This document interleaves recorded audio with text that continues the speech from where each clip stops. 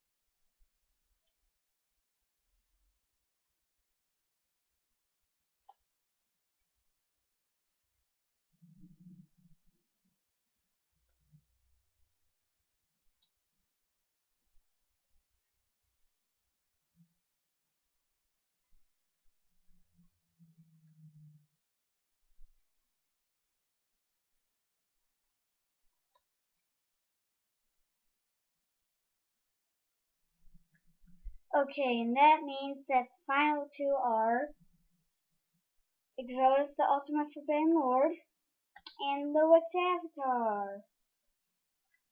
I'm sorry I didn't say this at the beginning, but my name is Aiden Mather, and um, I decided to make a video on my uh, best Yu-Gi-Oh cards. Um, that is a whole deck, and I hope you guys enjoyed.